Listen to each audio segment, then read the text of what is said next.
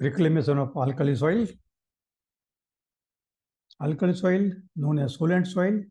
How to diagnose alkali soil? For that, we have to carry out soil, water, and plant analysis for pH, EC, and other contents. Crop productivity is low due to high content of sodium, over aeration, and deep location of sodium clay particle. Alkali sodic soil reclamation, different method, chemical, culture, hydrological, physical, biological reclamation of alkali soil. So we have to add gypsum. So on left side, we have it is controlled, right side gypsum. So it is improve, add organic matter. Cropping pattern, rice based system, fertilizer management, add 25% more NPK fertilizer than they recommend those.